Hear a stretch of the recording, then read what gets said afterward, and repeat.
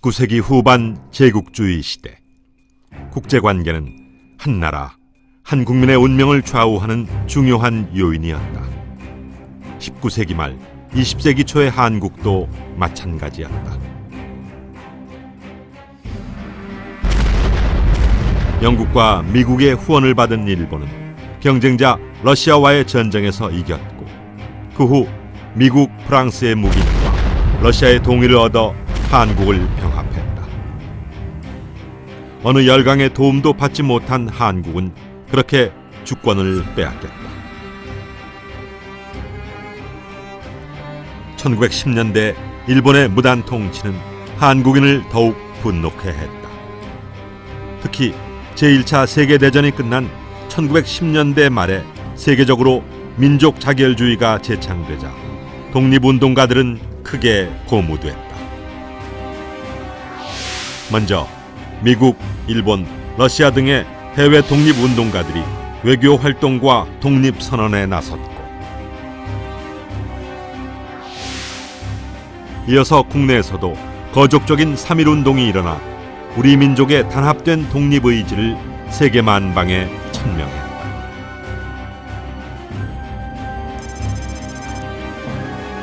3.1 운동 후 국내와 연해주, 상해 등의 정부가 수립되었고 이는 곧 통합되어 1919년 9월 대한민국 임시정부가 탄생했다. 또 국내에서는 산업과 교육에 중점을 두는 실력 양성 운동이 일어났고 민족주의 진영, 사회주의 진영이 통합한 민족 유일당 운동이 전개됐다. 한편 만주에서는 봉오동 전투, 청산리 대첩 등 무장 항일 투쟁이 활발했다. 이처럼 국내외에서 활발히 전개됐던 독립운동은 민중의 항일 의식과 대중의 잠재적인 힘을 일깨우는 데 중요한 역할을 했다. 그러나 1920년대까지 서구 열강은 일본을 지원했다. 제1차 세계대전 이후 새로운 평화 질서를 수립하기 위해 열린 파리 강화 회의에서 김규식이 한국 대표로 활동했으나 미국을 포함한 서구 열강은 그를 외면했다. 이런 상황 속에 한국이 독립하기는 어려웠다. 하지만 1930년대 들어와 일본이 만주 사변과 중일 전쟁을 일으키자 미국, 영국 등 서구 강국들과 일본 간의 밀월 관계는 끝을 맺는다. 1940년 일본은 대동아 공영권을 제창하며 동남아시아 침략에 나섰고 이를 제지한 미국과의 갈등이 본격화됐다. 1941년 12월 7일 일본이 미국 하와이 진주만에 미 함대 기지를 기습 공격했고 그 후 미국을 포함한 연합국과 독일, 일본 등 추축국이 전면 전쟁에 들어갔다.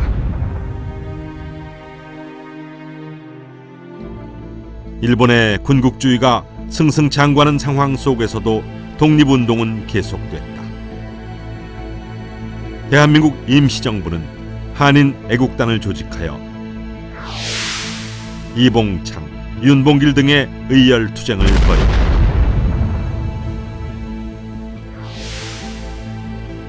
(1935년에는) 중국 내에 여러 이념의 정당 단체들이 뭉쳐 민족혁명당을 결성했다.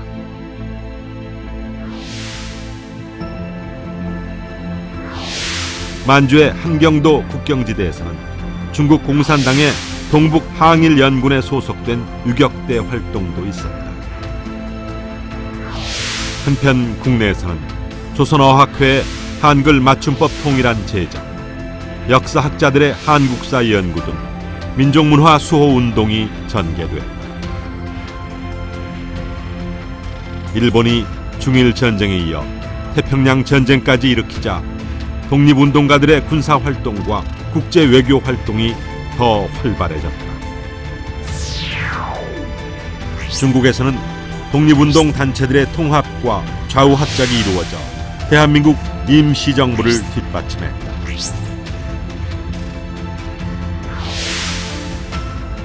임시 정부는 1940년 건국 강령을 발표하고 광복군을 조직했다.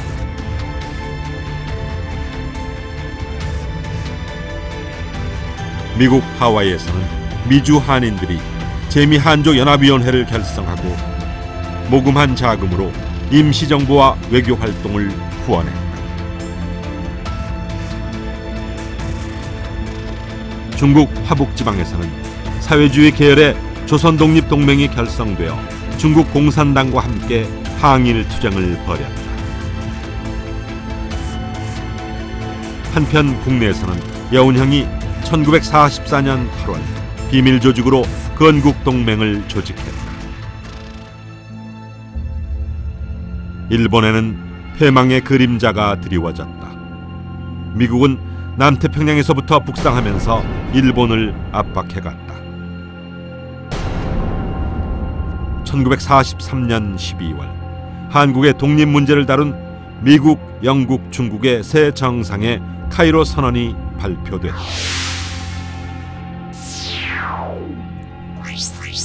이 선언문에는 한국의 독립이 명시됐다. 하지만 적절한 과정, 즉 여러 연합국들의 신탁 통치를 거친다는 단서가 붙었다. 이 방안에 대해서는 곧이어 열린 테헤란 회담에서 소련 스탈린도 동의했다. 1945년 4월 미국 루즈벨트 대통령이 뇌출혈로 갑자기 사망하면서 부통령이었던 트루먼이 대통령직을 이어받았다. 트루먼은 루즈벨트와 달리 소련의 참전 없이 일본의 항복을 받고자 했다.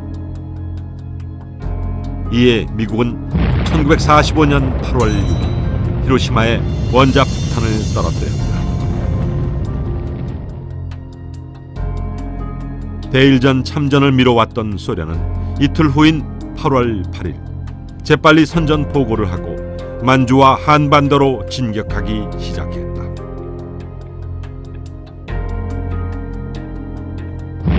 미국이 원자 폭탄을 하나 더 투하하자 마침내 일본은 8월 11일 항복 의사를 통지한다.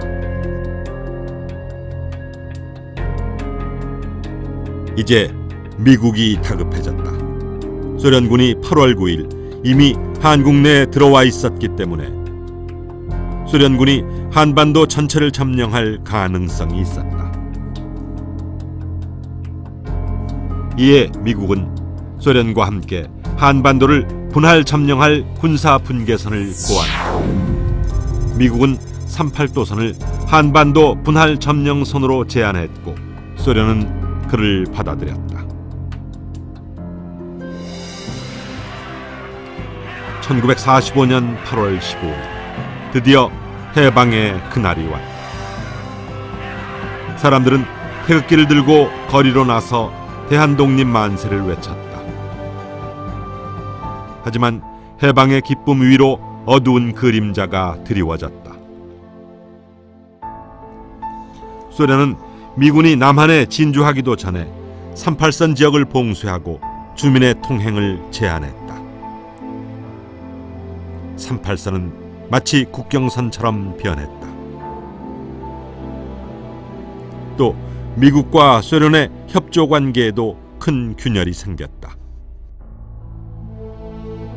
1945년 9월 영국 런던 외상 회의에서 소련은 일본에 대한 통치 참여 등을 요구했다. 하지만 미국과 영국은 이를 거절했다. 이후 스탈린은 동아시아의 공산화 정책을 본격화했다. 우선 스탈린은 북한에 별도의 정권을 수립하라는 비밀 훈령을 내렸다. 또 중국 공산당에게 국공 내전을 다시 시작하라고 지령한다. 이 방침에 따라 소련은 9월 김일성을 입국시키고 10월 평양에 조선공산당 북조선 분국을 조직했다.